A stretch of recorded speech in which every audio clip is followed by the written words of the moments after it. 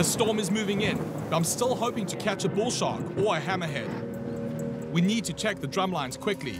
We don't want to be caught out in high surf, but we also can't risk leaving sharks caught on a line. The way these work, we don't know whether anything's on the line until we start pulling on it. No, nothing on. The shark severed through one of the lines and got off. Then even when we know something's hooked, we can't tell what species until we get it to the surface. Nothing on that one either.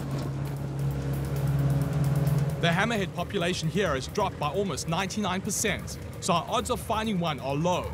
But research data on other threatened shark species will be valuable too. What the hell's going on? Oh, jeez, something big. Sean, what do we got? Come to the surface. Oh, bull shark! Yes! nice sized bull shark. All right. Nice! Look at the size of this guy. Try and get him around the side of the boat. Bull sharks kill more people than any other shark in the world. They have the highest testosterone of any animal on Earth, even more than elephants and lions. That makes them super aggressive, I mean, that will easily take your arm off. and this guy's using all of his power to fight us. Look at that! Jeez! But without the saltwater pump, he could die.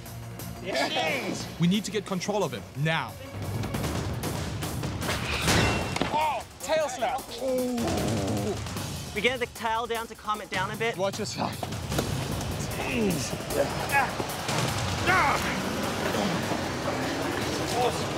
All right.